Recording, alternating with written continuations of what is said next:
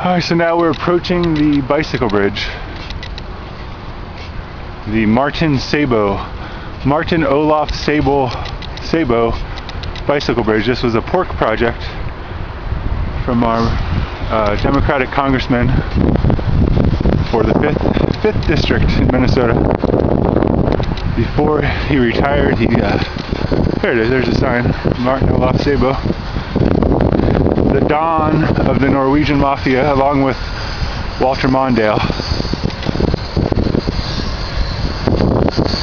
There's the Hiawatha light rail, light rail train.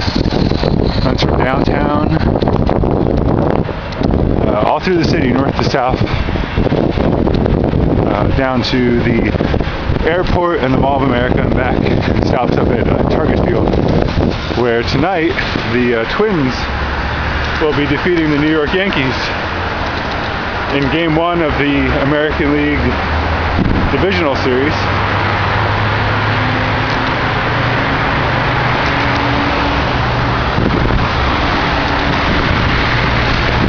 So it's kind of a slow rush hour on the roads,